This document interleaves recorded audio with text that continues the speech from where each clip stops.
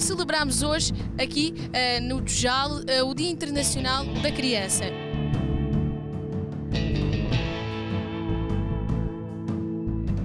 Tivemos várias atividades ao longo do dia. Tivemos uh, um concerto, aliás, uma amostra de talentos das nossas crianças.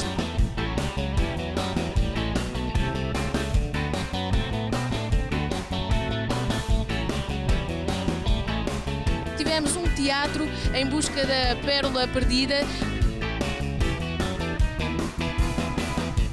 Tivemos póneis, tivemos cavalos, tivemos pinturas faciais e tantas outras coisas. Foi uma grande diversão, todas as nossas crianças gostaram e os pais também.